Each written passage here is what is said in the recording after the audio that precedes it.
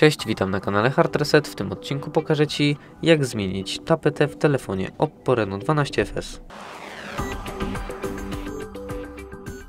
Na początku przechodzimy do ustawień, a następnie szukamy opcji tapety i styl. Teraz przechodzimy do opcji tapety i wybieramy tapetę z podanych tapet. Następnie dajemy zastosuj do i wybieramy, gdzie ma zostać zmieniona taka tapeta.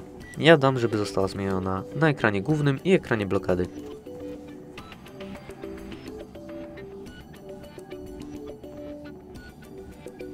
Jeżeli wideo było dla Ciebie pomocne, zostaw łapkę w górę oraz subskrypcję. Z mojej strony to tyle. Ja się żegnam. Cześć.